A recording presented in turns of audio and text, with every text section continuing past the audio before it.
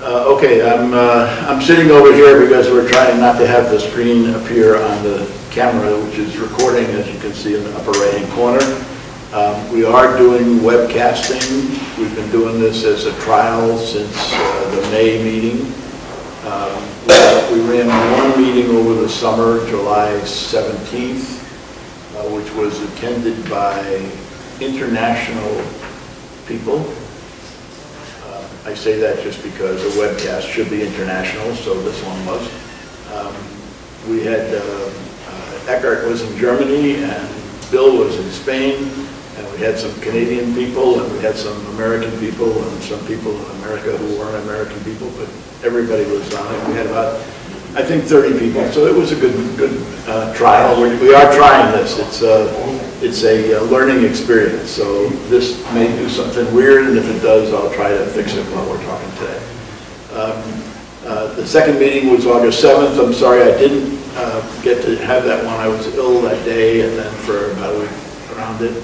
Um, We're going to, we're going to keep trying to do these, um, uh, I'll cover some of that content today, um, uh, journaling whatever. Um, Our last meeting used Join Me. Some of us have used GoToWebinar, GoToMeeting. Some of us have used GoToWebinar, GoToMeetings. Yeah, if I'm, if I trail off back there, just wave at me that you can't hear me and I'll uh, speak up a little. Uh, Deborah especially, I'm going to count on you, thank you. Um, So we're trying different software, but right now we're using Zoom. And uh, uh, Zoom seems to be the easiest to, for everybody to sort of use uh, without 86 tech people standing around Can you just, uh, just give a quick definition of Zoom? Uh, Zoom is the little blue um, icon that's down here, it's software.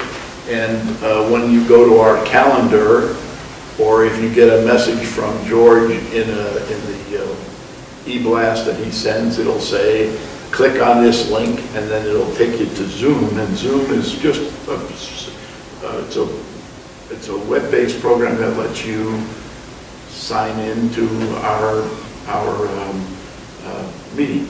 And what you would see is what I'm broadcasting here, which right now is just my face. And in a little while, we're going to share this, we're going to, and we're, I'm sharing the screen as well. So you would see what you're seeing here on the screen uh, on your computer at home. And what's Join Me? Join Me is the same kind of software, it's a different provider. It's like Apple and Microsoft and Google, you know, everybody has their own little thing. So Join Me is one, GoToMeeting is one, Zoom is one, BlueJeans is one, they're just different apps. And you don't have to worry about which app to use, we'll tell you. Because the app is whichever one we give you a link for. But it's pretty good if you're traveling or if you, if you want to attend a meeting. We're I think we're going to try and do it every meeting, but sometimes we won't, because we don't know how to connect yet. The outside speakers in, you know, because outside speaker comes in over Skype or FaceTime. That's a whole bunch of questions. Um, A couple, of- couple of things about the website, for those of you who go to our website, naplesmug.com. Uh, It has evolved over the summer. Um, I've made some changes to it. John continues to post content on it as well. Um, I moved all the menus that used to be on the side that were hard to find to the top. So now when you go to our website, and you want to see classes or um, member posts or uh, how do I do that, some of those other content, uh, they're all at the top. I'll show you that uh, here. Um, If I make these icons a little bit smaller, I'll be able to see anything.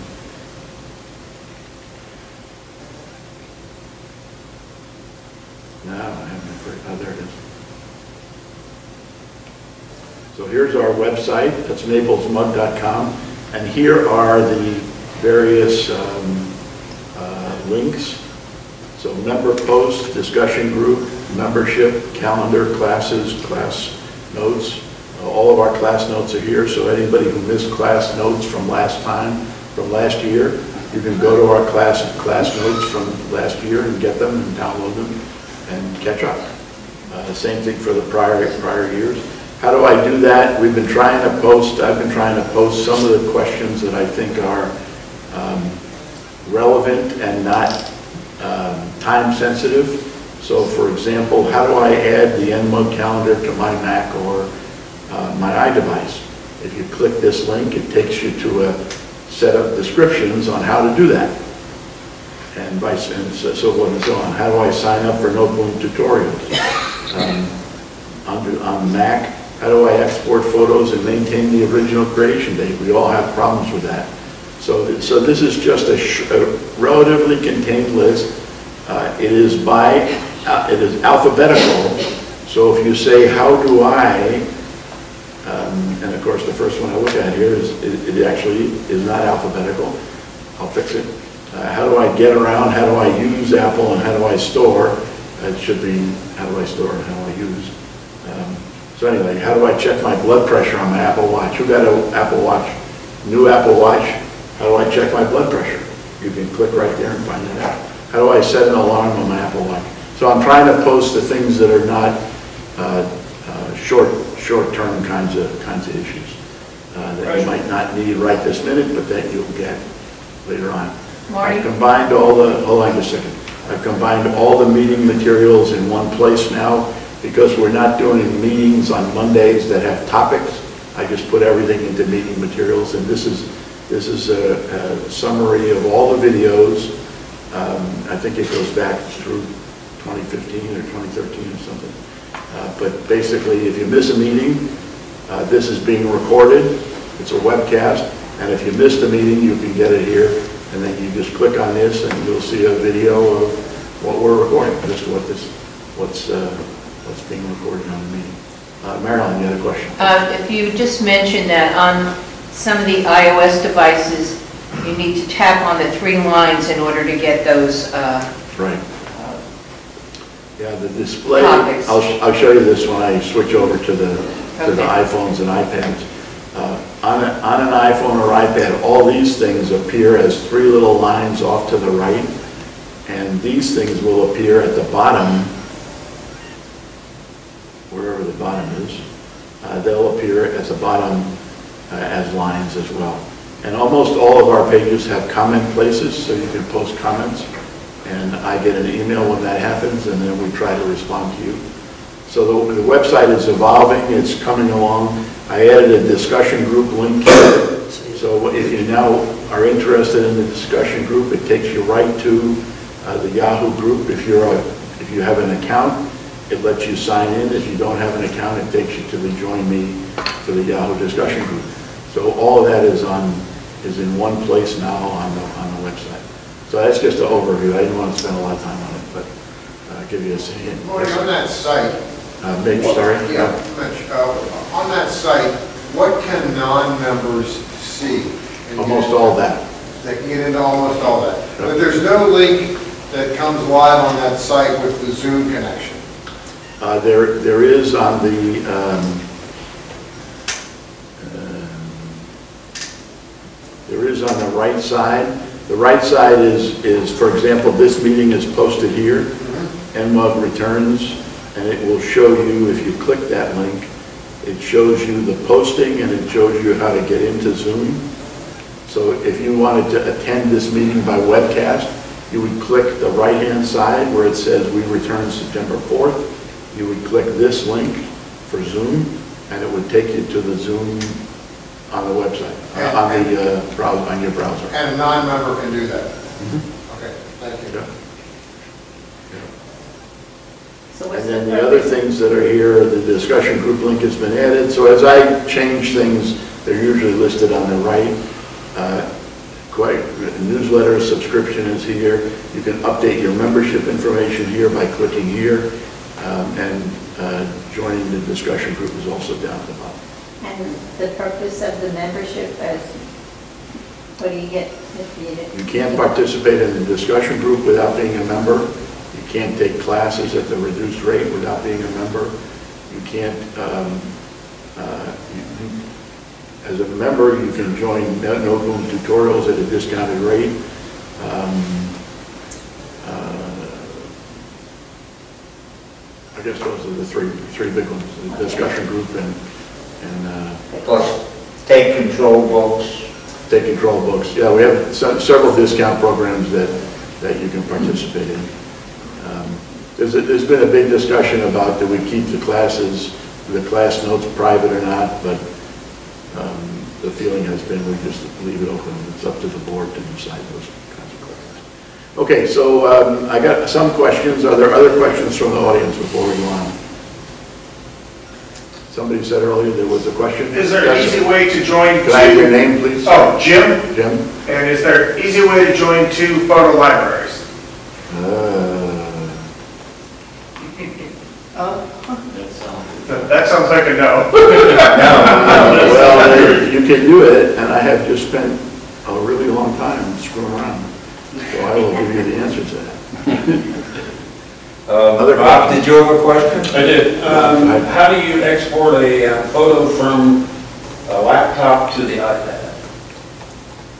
From a laptop or from a Uh, MacBook? Laptop, um, laptop Pro, MacBook Pro, okay. Pro, look to uh, just uh, an iPad. How to export a photo from um, a MacBook to an iPad. I even know the answer now, that's good. Other questions? How Your do I name- name, take my please, sorry. photo project, Name, please? Carol, Carol? how do I take my photo project and place it onto a DVD or a CD? Oh, you don't want to do that. Is it possible to do that? Sure. Yeah. Why do you want to do that? It's a gift to my daughter. Okay. How do you catch up if you just really become, have become an I person? Catching up is relative.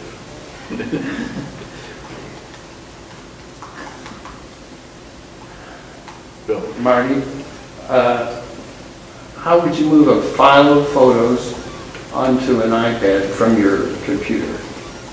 Uh, So you could use it with, um, with, uh, I, uh, Mac TV, Apple TV.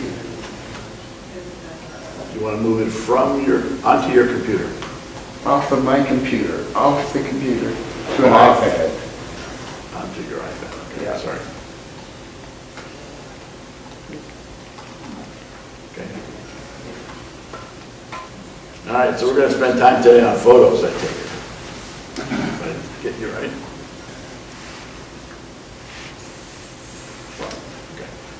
All right, so um, uh, let's, uh, let's start with the first question I got, because I got some of these from, uh, from um, emails. Uh, Can we get an overview of journaling from the MIST webinar? Um, And by the way, all these notes get posted on the website and posted on the discussion group, so when when I say there's a link here or something, you'll be, you can just go get it and download it and uh, uh, see the answers yourselves. Um, When I, when I talked about journaling, um, since I've been a member, which is, I think this is my sixth year or fifth year, um, people have asked me many times, uh, you know, I want to write my memoirs, I want to write a, a history for my grandkids so that they know what we went through back in the olden days, you know, that kind of stuff. Um, uh, When life wasn't the way it is today, uh, or the way it's going to be in 20 years. Um, So, so there are a couple, couple places I recommend uh, people going to.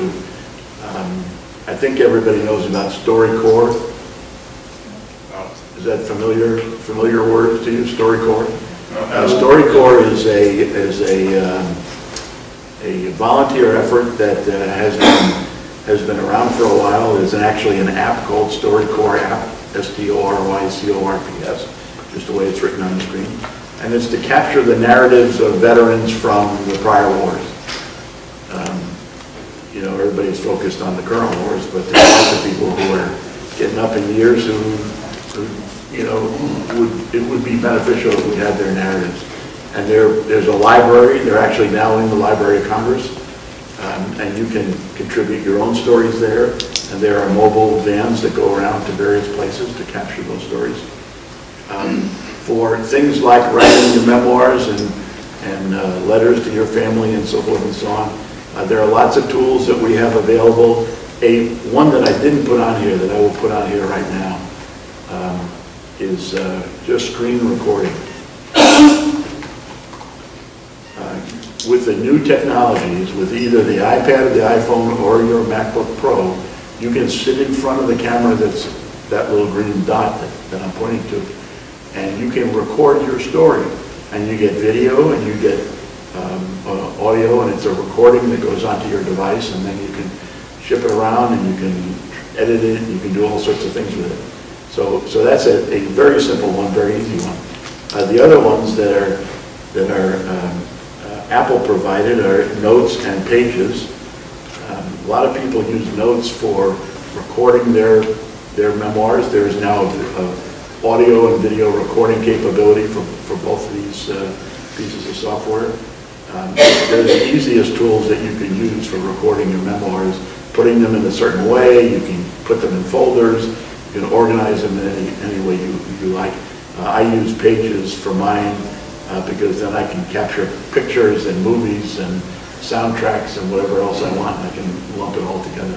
So, so journaling for me meant, how do I keep a journal? Um, Evernote and Day One are both, um, I've used both of them, I I use both of them now. I love Day One. Day One's a free program, uh, unless you want to do things like sync it across your devices, do other things. Um, I don't know if I have it here. Here's Day One, it's a little, the little blue guy down at the bottom. It opens up, lets you create a new journal, and then every day it will remind you to make journal entries. And it lets you uh, add pictures, and and it will, if you have pictures, it puts the pictures in the right day and the right time, so you sort of keep a chronological, uh, a chronological journal of yourself, for yourself. Evernote is also free, again, unless you want to do things like syncing across devices, uh, but um, uh, very good, and then it lets you then post to a website. And you can post to Blogspot or some of the other website uh, changes. So um, just a a very quick uh, summary, if anybody's got questions about that stuff, by all means, email me, and I'll be happy to uh, work with you or take you through what I know about them. I've used them for many years, um, and they're, they're interesting. Um, Any questions about that before I go on? What are you giving up if you download one of these free apps? What are you giving up? Uh, Do they store your photos or? Uh, Yeah, you, it uh, depends if you, it depends if you put them on their cloud, their cloud or your cloud. You have all the same issues about privacy that you'd have anywhere. So you have to read it, make sure you want to do what they, you know, what they offer you, basically. Uh, With Evernote, uh, Evernote can, can leave it on your device, so it's just your own, or they'll put it on their cloud, and then it's available on other devices. And if you put it on the web, then it's available in the, on the web, so you have all those kinds of, of issues, sure. Thank you. Um, Okay, um, the second question was, uh, in Safari on Macs, is there a way to place a new tab icon at the left side of the bar, toolbar? Um, Now, um, somewhere here is my little, uh, my little guy, let me move this so we can see what I'm talking about.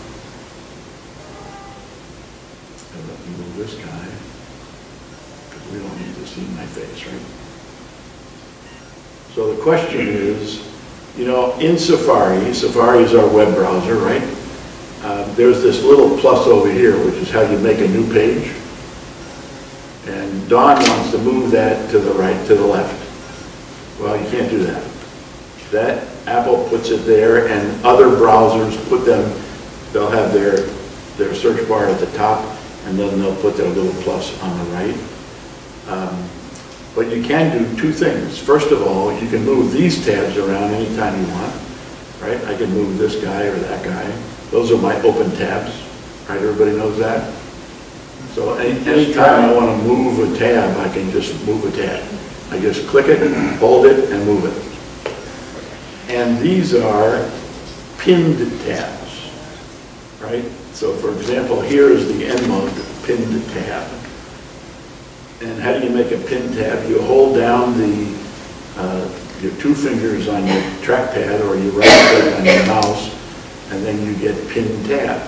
Now, I can't pin this tab because it's a favorites, and favorites is the, list of favorites, right? But if I had an open tab, if I open this, what's new in the Mac, for example, it's going to give me a new tab here, and if I right-click it, I can pin tab it, and then it becomes a tab right here. Now, I can take that thing and I can move it wherever I want. So when I pin a tab, I can move it wherever I want. So open tabs I can move just by dragging and dropping, right? And pin tabs I can move the same way, just by dragging and dropping. Marty? Carl? Uh, is, can you change the icon on the pen tabs? Can you change the icons? Yeah, Not that I know. okay. But that icon is, is subject related. So here's the one that looks like NMUG. And it, that captures the, when I open NMUG, that captures the, um, I forget the name now, but every website has a, an icon that appears sometimes in the lower, in the, in the left-hand corner there, not where the reader thing is, but it'll, usually appears here. And that is what gets captured here. So Zoom looks like that when you open Zoom. And uh, Google Calendar looks like that. And, and it will be, it'll appear, it's in, it's embedded in the website, so that's what. Okay, well, the reason I asked is you got like four, five, five of them are exactly the same, you can't tell what they are, right? Well, I can tell what they are by dragging my cursor up there. And it tells me what they are. The reason they're there is for you, for today, because I have these things I want to demonstrate, and I've prearranged them to be here. So This when is I all want to show you computer. Catalina, I This is show all you. on your computer, not an iPad, This is a computer, I'm on my computer. but it's only for the computer. Uh, yes, that's right. Don? Uh, So the difference between a pin tab and a bookmark is if you click on one of the pin ones, it opens a new tab, whereas a bookmark would replace whatever you're presently looking at. Is that right? Um, Yeah, if I, if I had a, if I opened a bookmark here, it would replace, if I was in, if I was here, where I am now, it would replace the content. Right. Sure. Yeah. But the pin just opens. Pin another tab's tab. always open where, where I was, right? So I go to Zoom, here's my Zoom. If I go to Apple, it's my, whatever. Jerry. This is Jerry. Uh, I I think, not. this is a really a question, Are- aren't the pin tabs open all the time? Um, I, I don't know the answer to that. May, that may be true. I think, I think they are, but I, I'm not positive about that. I don't know, I don't know that this is an open tab all the time. I'm not sure. I, I, that may be true. Marty? Jim? Jim? Uh, the pin tab is reversible. Can you expand it? Can you expand a pin tab? Oh, sure. When you, when you click it, um, I realize the website comes up when you click it, but can you no, reverse that if I- because you might If I forget? unpin it, then I get it out here, Okay. right? If I pin it, then I get it back here. Okay. Yeah, when, you- you have to open it, to do it. Jerry? Just a comment, this pinning and unpinning of tabs also works in Finder. And most, most of the applications, when you have tab capability, you can pin things that you want so that they're there always, but they're over the- on the left. Now, and a workaround, because I think your question is, I don't like it over here because I'm a left-handed guy and I always use my mouse over here. You can do Command T and make a new tab. So Command T, I could use my left hand to do Command T if I'm using my mouse on the left. I'm inferring that that was the source of your question, but I don't, I don't know. And it'll, it'll still show up on the right-hand side. It still shows up on the right, but Command T gives you the way to open it without having to move your cursor to the right. Um, Okay, in Maps, I'm going to save this question until we get to the iOS device, so remind me if I don't remember to go back to it.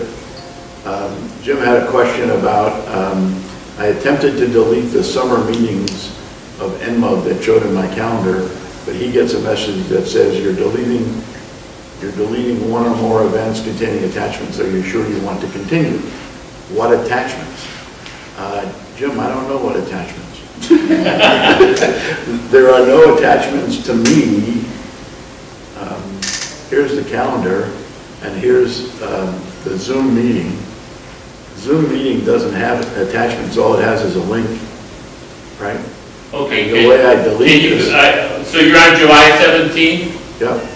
All right, can, can you go to some place that has a- an NMUG meeting that is scheduled, but is scheduled because it's there for all the meetings, but we didn't really have a meeting and attempt to delete it? Oh, Okay, so that was what I was doing. I Oh, oh, oh. I was attempting to delete the meetings we did not have, I don't know, Yeah, so if you had, it, that, that's true. For, for example, July 24th on the original calendar would have the NMUG meeting, Right, and that's a repeated meeting, right.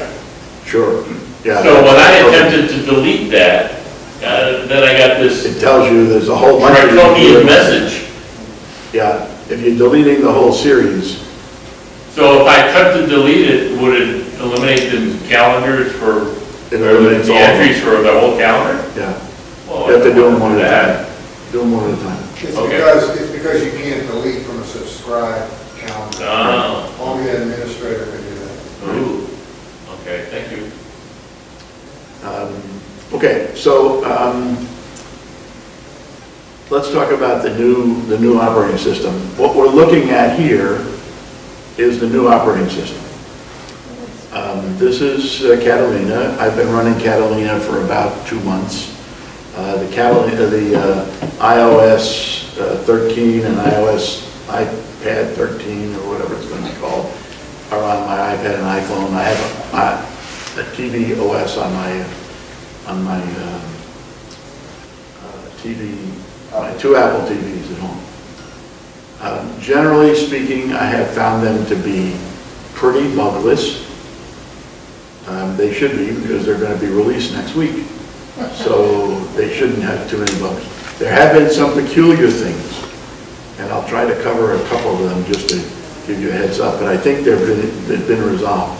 There's a little thing, when you're, a when you're a beta tester, they send you this little feedback assistant guy, and this feedback assistant guy lets you put in issues that you have and send it to them. So they're very responsive on, uh, on getting things, you know, that you send them and then working on them. So they, they know the, the mass of people who are beta testing. Um, uh, Just from, for a language point of view, Mac OS is Catalina, right? That's the new operating system. Uh, There are going to be some of you in the room who will not want to upgrade to Catalina soon, and I'll explain why. Uh, tvOS is no-brainer. iOS for iPad and iPhone are no-brainers in my view. Um, No-brainer means you shouldn't have any trouble updating to them and learning what the differences are, because the differences are not profound. The differences are not, you know, going from a PC to a Mac, or vice versa. They're, they're pretty, they're enhancements, not revolutions, in my, in my view. I saw nothing here that I needed to say, oh my God, I, I don't know how to do that, you know. The hardest one is, um, the, what, what do they call it, tactive? What's the expression, Mi- uh, Mitch? Tac, Uh, Taptic, taptic. Taptic. Taptic is when you touch a device, it now does different things than before. You know, before it was just click it or not click it. Now, if you touch it hard, it does one thing. If you touch it soft, it does something else. If you swipe it, it goes, you know, you have to get a little experience. But that's about the biggest revolution. And the reason is, they're trying to take all the other, all the other little, um, dollar and a half controls off of these. They want this to become a single smooth shape run by software. I'm inferring this, but I think that's where they're headed. Because you'll notice when you do the volume controls, that the volume control is now going to be software. And you can just see that it's going to be software. And they're going to take those little toggle switches off the side of this thing. Because that's two and a half bucks, right? And if you sell a billion of something and two and a half bucks, it turns into real money. So you can just see how they're, how they're moving. That's why they took the headphone jack off and, and all the other things. So just, Marty, just, just to clarify what you're saying, the, the level the level buttons on the side will be replaced by like sliders on the screen? I'm inferring, maybe not on the next phone, but certainly the phone after that. Okay, I mean, the just sliders are already on the screen, You but, can just see it. Yeah, they're already on the screen, but now you're gonna see, when you, when you touch this, that it, it actually gives you a little thing on the screen while you're doing it. okay. Um, There's lots of free information, Mitch is going to cover everything. I'm going to show you how to get educated so you can send him a million questions for next week. I want him to be prepared. I want, I want him to be, uh, yeah, prepared. Marty, since you're picking on me, I got a question for you. Go ahead. Mitch, have you experienced any problems with um, the TV uh, uh, beta? Because every time, the problem I have repeatedly is every time I hit the, the um, voice to say, find uh, Clint Eastwood, uh, it locks the system. I have to unplug it and plug it in. No, no. Not even on the, not even on generation uh, three. Well, This is, yeah, this is the latest. Have you been using the, you Yeah. use that voice thing? Yeah. I don't understand that. All right, thanks. Um, Okay, and and then, uh, besides Mitch covering this, we'll cover it obviously in subsequent sessions, but there, we're having classes on all the uh, new operating systems beginning in January. Um, Marilyn is here, so she can give you the skinny, and if you have questions, make sure you send them to her. Um, All right, just quickly, uh, installation is very easy. Uh, You have to do a time machine backup first. Everybody get that? You have to do a time machine backup or a super duper backup or some kind of backup so that if something bad goes wrong, you can recover, right? Everybody's clear on how to do that? If you're not, talk to me afterwards or talk to one of us afterwards. You have to do a backup, period, end of story. Don't not do it. You're going to be tempted to not do it, but don't not do it. Um, The biggest issue with Mac OS is going to be 64-bit and old 32-bit apps. There are something like 250 apps that will not work, that we know are 32-bit apps, and, and that means that you will get an error message that says, oh, you can't use these anymore. So if you're in love with a 32-bit app, you should find an alternative and transfer your data before you upgrade. Because once you upgrade, it will work. Now, there are some technical ways to get around it. I put here for non-expert people. I don't mean that in any derogatory way or anything. It, it does take some work. You can partition your hard drive, and you can run your old operating system on part and the new operating system on part. Um, Depends how big your hard drives are. Uh, You can do it on an external hard drive and put those apps on an external hard drive, do the same thing. Um, But just, you know, make sure you know about 32-bit apps. Uh, How do you find out which are 32-bit apps? You go to System Preferences, and, um, About the spot. uh, sorry, not System Preferences, right? You go to the uh, Apple guy, which I can't find here because I moved this. You go to the Apple guy, and about this Mac.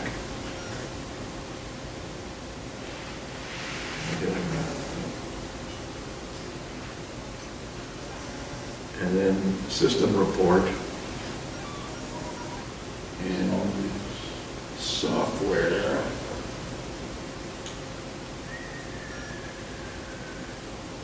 Applications. Am I doing this right? Application? Yeah, Yeah, but it's not. it takes a while to populate the list. Because it's going to go find all the apps that I have here. Here you go. So system preferences, not system preferences, sorry. About this Mac. And then over here, it will show you. It may not exist in Catalina. Really? So it shows it to you in the old, oh, here it is, right here. This guy says 32-bit unsupported. See it right there? And that app is the first one, which is unknown. You can organize Define them, you can organize them all together. Yeah, you can organize them and do it, but, but the, um, it'll say here unidentified. On the, on the current operating system, uh, you'll have another column out here that will show you 32-bit or 64-bit. Uh, And we know that the Adobe ones don't work. We know Acrobat Pro doesn't work. Know that the uh, Adobe Photoshops uh, are all 32-bit and unsupported, so here's Photoshop Elements, 32-bit unsupported. Um, The photo uh, Premiere, Adobe Premiere is unsupported. I just went through this because I had to upgrade them all. Uh, So you find, you find, well, it's mostly the Adobes, but then there are some others that are around. There's 250, 250 How about Microsoft Office? Um, uh, Office, I think, has been upgraded, because I didn't have any issue with upgrades. All, all depends on which version you're running. If you have Yeah, those That's right, seven, yeah, if you have version 12, it it doesn't work. Um, So, so the 32-bit operating, s- uh, 32-bit apps are an issue. Uh, I haven't found very many bugs. The biggest bug I found was Mail uh, with, uh, when you open Mail, it's very peculiar.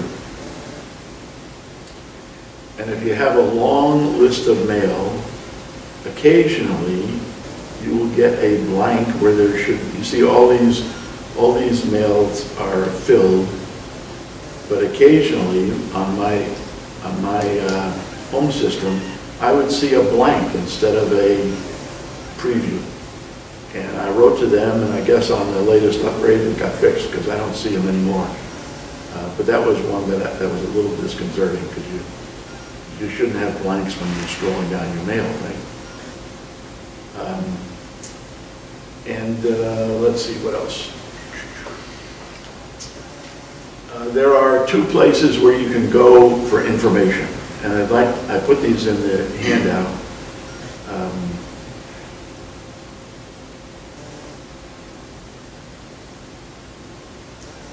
And you were asking me earlier, what are all these, uh, what are all these uh, Apple things for? Each of these Apple things is for a um, place I want to take you. So for example, this first one takes you to Mac OS Catalina. How did I get there? In, in uh, Apple,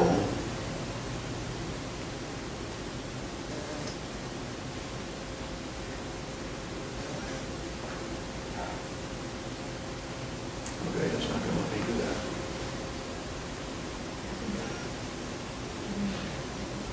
If you go to apple.com slash beta, apple.com slash beta, it will then give you each of these things on a little list. You don't have to sign up to be a beta tester. It will just show you what Mac um, OS Catalina is. And then, this is one of those funny ones. If you, if you just scroll up with your, with your uh, mouse like you normally would, it then takes you to the explanation of what's in Catalina. So you can read about what's in Catalina, how it's changed music, TV, and podcasts into separate apps from what it used to be before, how to present Apple Music, what the Apple TV is going to do, how to listen to podcasts, all, all that information about what Catalina is and whether or not you want to do it. Easy ways to find and share and notes, organizing and starting browsing, so forth and so on. So it's a very easy way to get sort of a, an idea of the whole upgrade process. What's it going to do for you? What can you do with a pencil? By the way, you have to buy a new pencil. There's those of us who have the old pencil. It doesn't work. They were, they were cheap. They were cheap, they were only a hundred bucks. I guess it's relative to how much money you have, right? So that's one. Then you click on the next one, you get to iOS 13. Same deal here. It looks like it's a whole new look, and then you scroll up and it makes it look like a phone. And you scroll. Uh, Are you, are you seeing that the dark mode is the dark mode? You know why they're going to dark mode? Battery? Battery? Battery? No. Well, maybe battery, but eyesight. Because there's so much damage that the bright screens do to our eyes, especially at night when we're trying to go to bed. You can have a dark mode and a light mode. And the light mode is what we're used to, and the dark mode makes everything more colorful and the colors pop out at you better, all that kind of stuff. So each one of these places, iOS, the iPad OS, has neat things that you can now, you can now put widgets on the side instead of just having dashboards. You can do all sorts of things, and then it again scrolls away. Uh, It's, uh, you can do slide over and split views, and you'll be learning about this as we go on uh, throughout the year. There's a new home screen, um, because the new iPads are bigger. They didn't like the fact that this was only uh, 12.9 inches, uh, sorry for the camera, 12.9 inches. Uh, They had to get rid of the little thing around it, so it just goes all the way to the edge. All sorts of stuff like that. So, um, and then the last one is the Apple TV. What did I do with Apple TV here?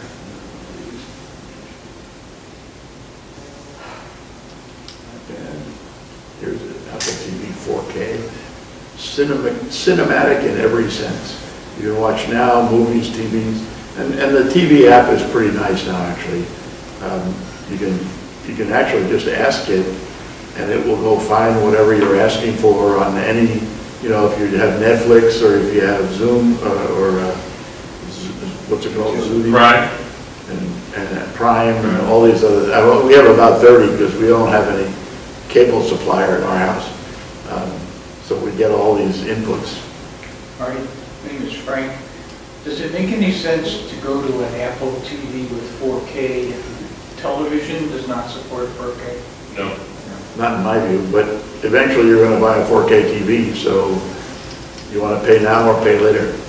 I bought that Fire Stick 4K, it was 30 bucks more, but I figure one of these days I'll convince my wife to buy a new TV, and we're gonna buy a 4K TV.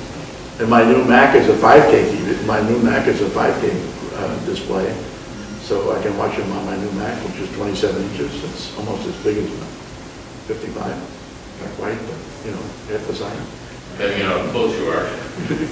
On Apple TV, I know on, you know, I had a old hockey puck that you could watch, stream the events, and then I downloaded the app to my Samsung TV, and I don't seem to see that option anymore. I didn't know if that's available or not. Uh, It is on the Apple TV. Is it available on? I don't know why it's not on the, Sam- is the Samsung app, the Apple TV app? It's, yeah, it's the Apple TV app on my Samsung TV, but I didn't see that option. Now, I haven't looked for it this time, but I I don't know, it might, it might be a separate, it might be a separate, uh, you know, in the new Apple TVs, you have to have, you download each app by itself. Well, It might be a separate app. okay. I think it was on the four, on version four, or whatever, the- I think the prior one was for. Thank you. Bill? Are the new uh, softwares going to be 5G capable? Uh, I don't know that, but I can't imagine they're not. What was his question? Are the new, are the new uh, phones going to be 5G capable? No. Oh, the This is an article in information, the discussion group. This, this generation iPhone will not be 5G. You get, we read that in the discussion group? Yeah, it was one one of the emails I got, is actually a Right. couple of people responded to it, said that Apple won't have 5G on the current release or the next one. Yeah. Why? Don't. Because the accessibility of 5G, 5G is very limited. They're gonna have it, tomorrow- they're gonna have it a year from now. A lot of dead spaces. I can't imagine that they won't have it. I, I s- I saw a report on 5G, I, could have been 60 Minutes or one of the Sunday morning shows, that said it was unbelievably fast if you're within like 100 yards of a tower. and don't have anything between you and the tower. Well, what good is that? No, man, the, the internationally, they're going, they're going 5G, and if we don't, we'll just be, you know, Behind the one tunnel. more nail in the coffin. There are huge amounts of money on 5G versus no 5G. So you can expect all kinds of fake information in both directions. So it's, it's very, very hard to say. So, um, I don't know, that was sort of just a, a general, I I have the links in here for the sites that I've been showing you, so I would encourage you, just, you know, go poke around, see what these things are gonna do, so you get some familiarity with the things. Jerry? I understand that the Catalina's, uh, Apple has a much more secure, and I've read some indications that the applications will be asking you for, for permission to write data. You have to authorize almost every application. Yeah, that is one thing I've noticed, that you do have to, you do have to tell it, you do, you do have to, in system preferences, you do have to give more permissions than we did before. Yeah. When somebody wants to do, when some app wants to do something, you have to tell it that it can do it. But it's not, I, I haven't found it burdensome Oh, okay. to, to do things, you know. Uh, And It's and just I, got a security. I, I also read that the, your hard drive, whether it's hard drive or not, will now be partitioned and the operating system will be totally in a separate partition than all of your files. Did- Did it take any particular longer time to load Catalina? No, it's, it's much faster. To, to me, it's much faster than it was before to, to, to load when you're restarting. I meant the install process, you No, install the install was not, Okay. I mean, you know, it's a gigabyte of, st- or terabyte of stuff or whatever. This is, this is a terabyte, and I think I did it in maybe an hour. Okay. My two terabyte new computer took um, longer, but not inordinately. So know, it wasn't days to do anything. No, I didn't see anything like that. Uh, The the system preferences, things are a little bit different. Uh, There's a lot more reliance on your Apple ID for security and for sign-in. Uh, I think they're going to the one sign-in approach that Microsoft has used for years. Uh, Microsoft, if you have a, if you have a sign-in that's a Hotmail account or a Live account or whatever, you can use that everywhere in the store and on different devices and for access to things. Um, And I and I think Apple has finally done that here, because now everything that you want to do uses your Apple ID uh, for, for credentialing. you know. So I find that a pretty good, pretty good uh, enhancement. Marty, George? I think you were going to say something about this. I would suggest that anybody that feels the least uncomfortable about jumping into Catalina, pretty much wait for the classes in January before you do anything. Also, if you happen to be lucky enough to have more than one Apple computer, uh, certainly leave the second Apple computer on the current operating system. So you can deal with these uh, 32-bit apps, and, and it'll be a gradual experience. But uh, I, I really believe that we'll have as many as 80 people in each of our Catalina classes. And I mean, these are the type of years that uh, we look forward to, because uh, there are some major, major, major issues that you're going to be dealing with. And if anybody feels the least uncomfortable, please wait until those classes in January. Now, as far as the iOS, you seem to think that's not, a no issue. Not no issue, just it's not, um, to me, it wasn't a major leap forward. I'll I'll try and get the, there was a question earlier that I deferred, oh, maps. So, um, uh, come on, screen share. Maybe not, I had to do it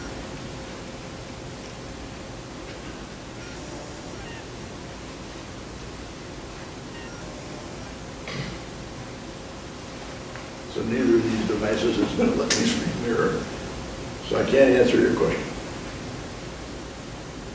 You got reflector on? Hold on. Yep.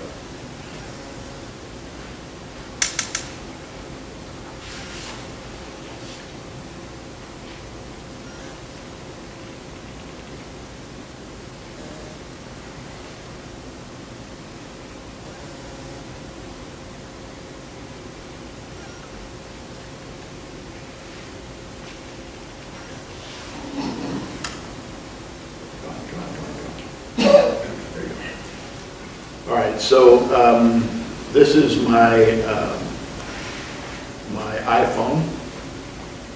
You all see that? Up a little bit. Uh, Don's question was about maps. And somewhere here I have maps. Your question was if I have a route and I want to see a piece of the route, right? So all I did here, just, um, I did this quickly. Here's the Apple Maps app, right? Now, I don't particularly like the Maps app, I like Waze better, so I use Waze, but I have Map, Apple Map here, so I'll use that. Uh, The question was, if I want to see a piece of the route, but I don't want to activate it and send, and say go, so that I start getting directions and having it talk to me, how do I do that? Um,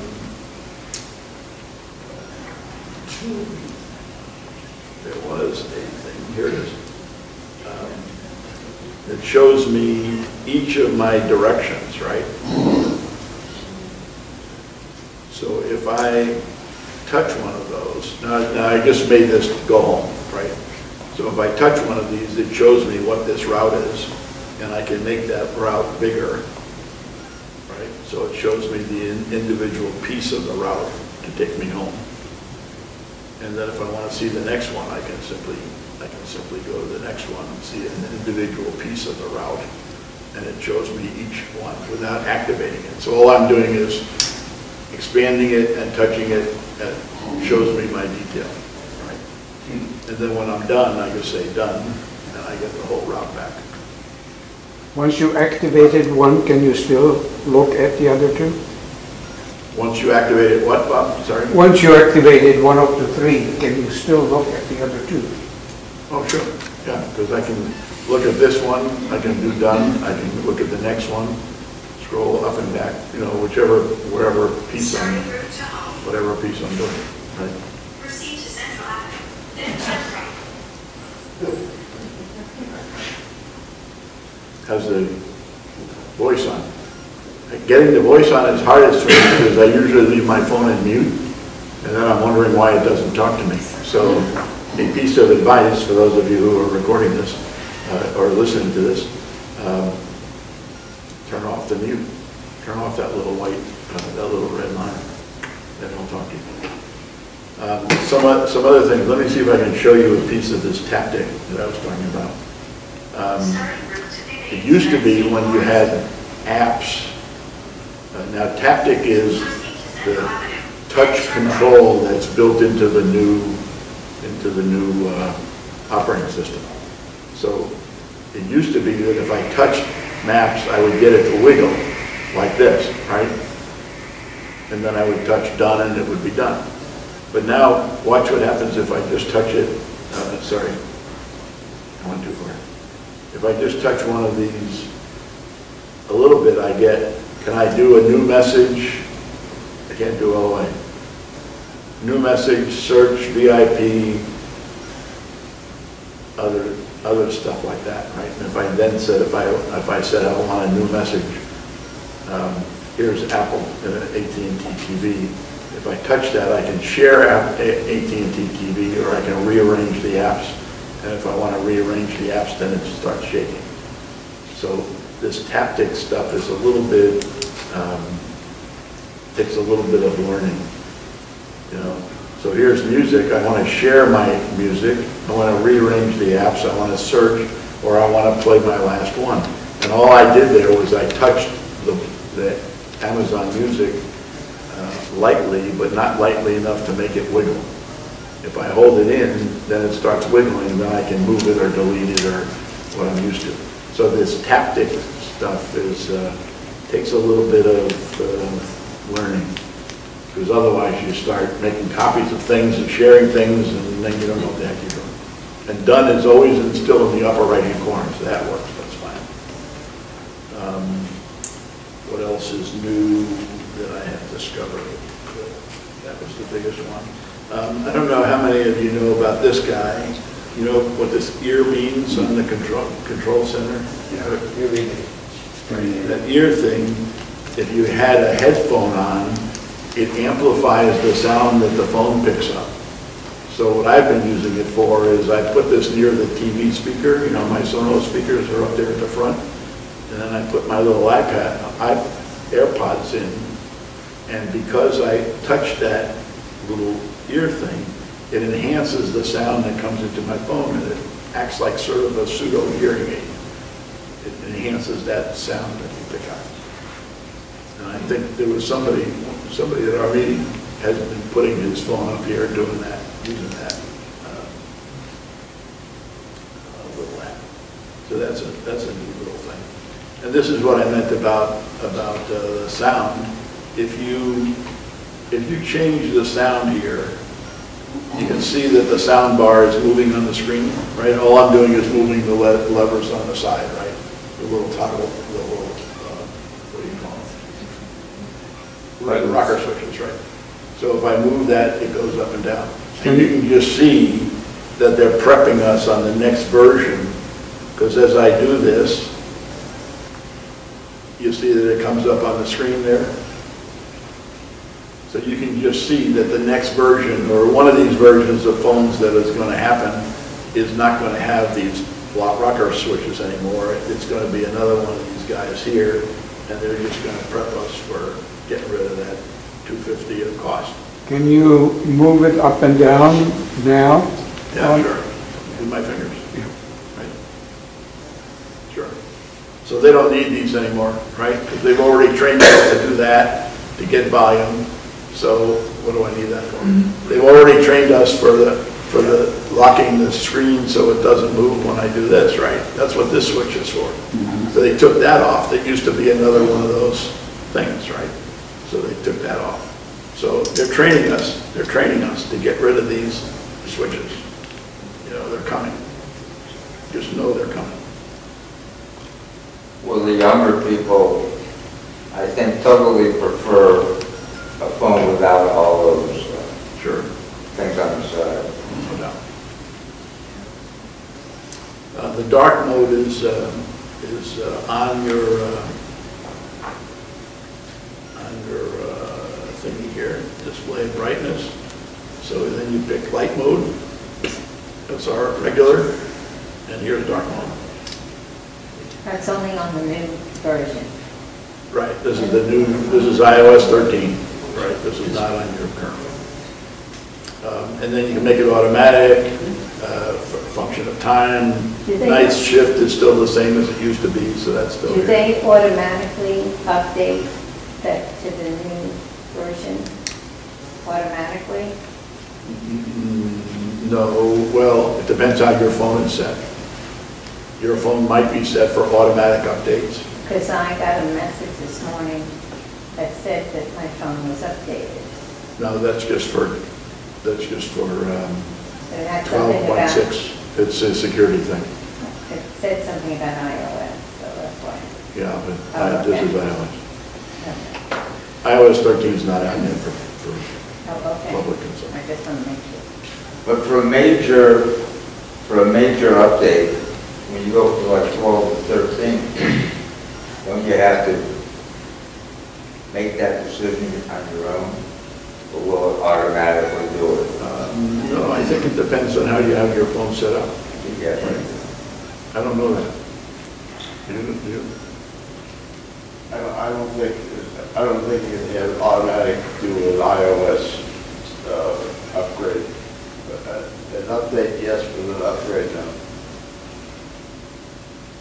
So it won't I guess if you're, if you go to general software update, if it says automatic updates on, it might take you to 13 I, months. I think that's for their apps update. That's update, not upgrade.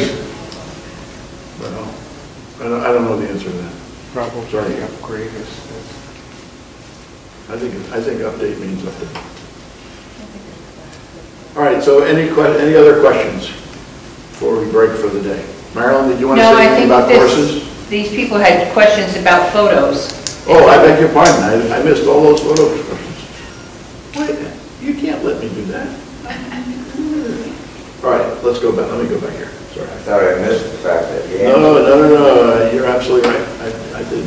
I'm just it completely brain dead, I'm just completely. It's the first one, come on, give me a break. All right, so, um, in maps, I attempted to delete summer meetings, blah, blah, blah, I may not duplicate this. Overview of new OS things, where did I put all those questions? Right. Right there. Top. Now, You did it up top. I did it up here, right?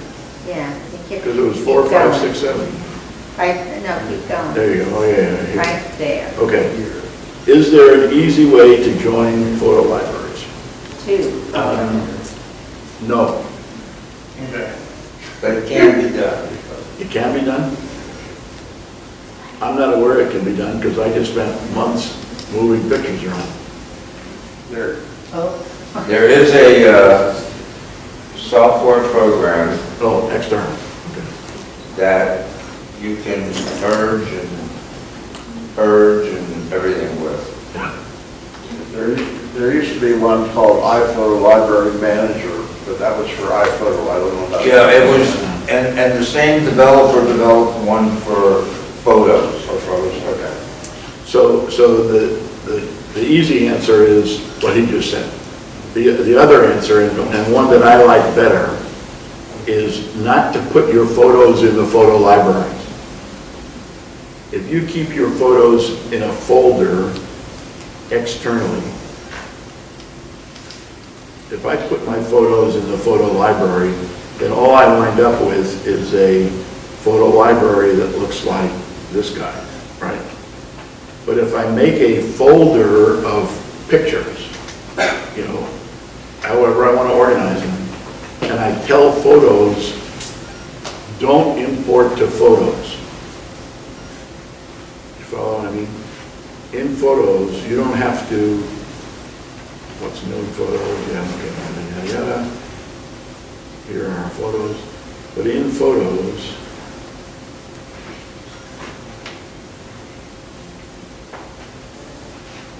in photos preferences, this, this green line is going to drive me crazy all day long.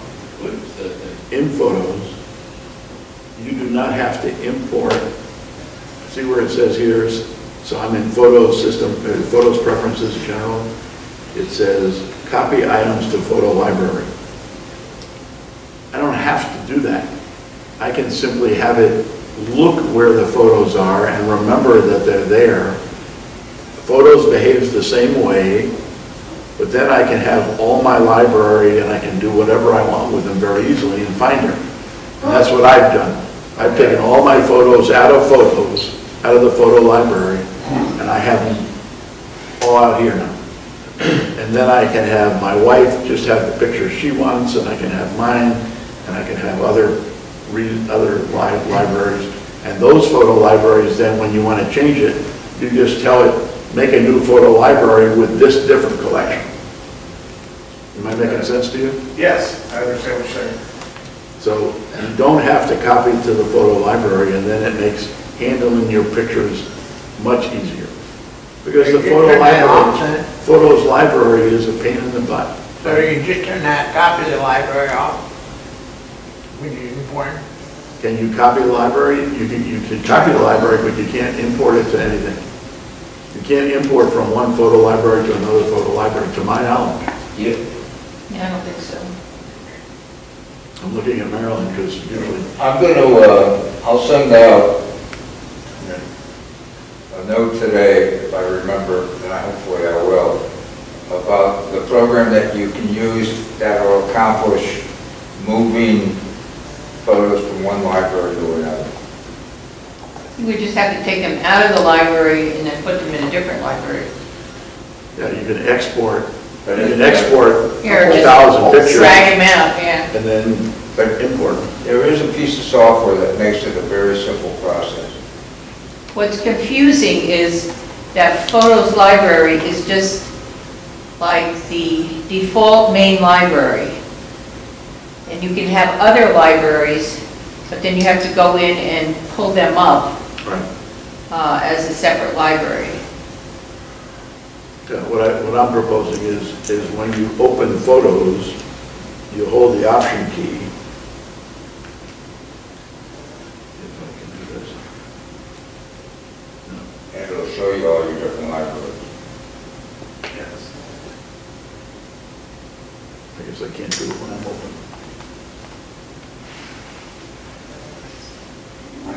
Nope. Well, anyway, if you do option, it'll let you, uh, it'll let you, um, Marty, in your method, do you lose then uh, face ID and no, words? no, you don't lose anything. Yeah.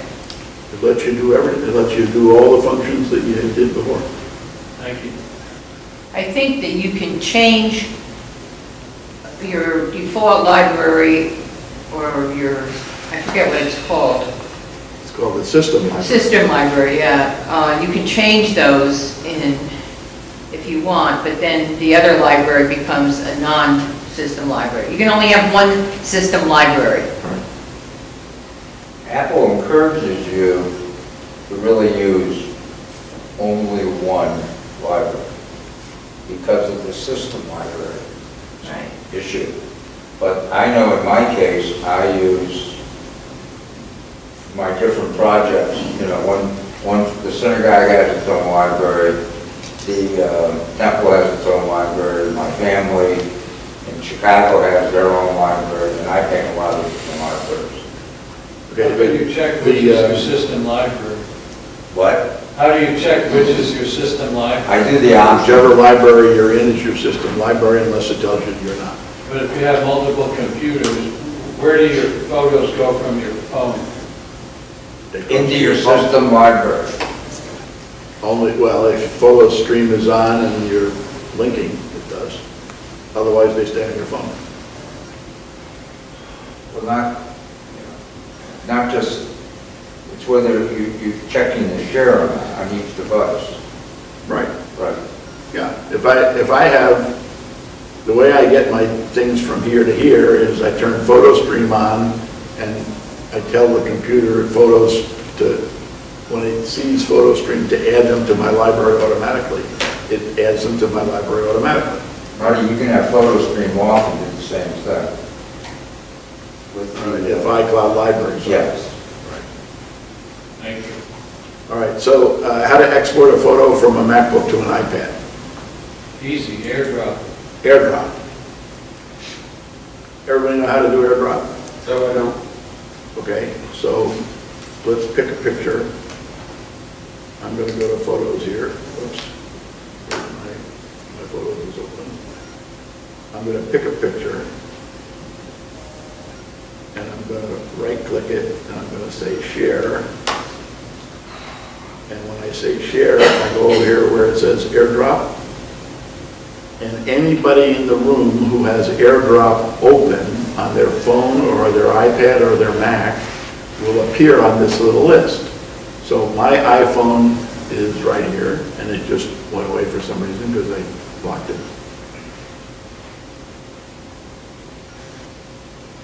So Marty's iPhone is here, George's MacBook is here, Carl's iPad is here. Anybody who has AirDrop open on their device can receive this picture if I click it. Now, how do you turn AirDrop on? On your, on your device, um, oh, sorry. On my iPhone, I will turn it on here so you can see what I'm doing. On my iPhone,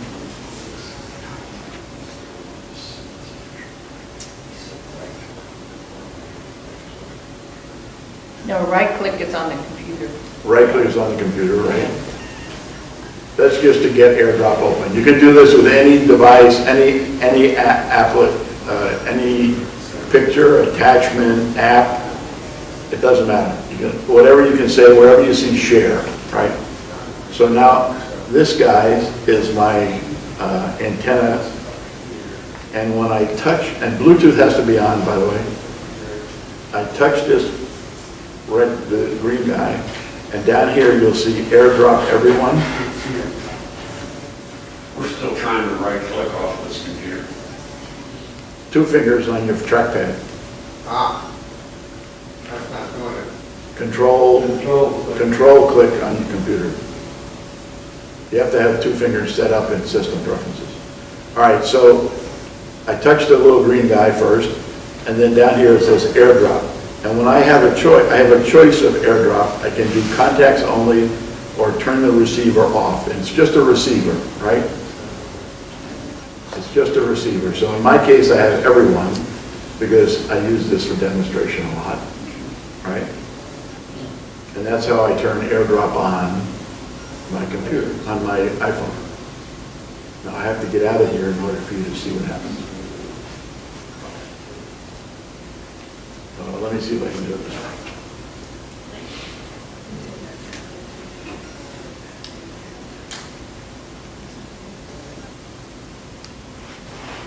Ah, So good. And so they transfer by Bluetooth, not, not by being on the same network? No, it's, it's, you need both for, uh, sit for it to, uh, They They both have to be on the same Wi-Fi network. For ear No, no, no, actually, I've done it, no, I've done it uh, outside, uh, in a... Yeah, they, they don't have to be on the same network, but they both have to have Bluetooth. Bluetooth, they both have to have Bluetooth. And there's one other thing they have to have. so. They don't have to be on Wi-Fi. So let me finish this demonstration, please. On my iPad, which is on the right side of your screen, I have selected this picture. On my iPhone, which is on the left side of the screen, I'm going to receive the picture. Now, I have AirDrop turned on on both devices, right?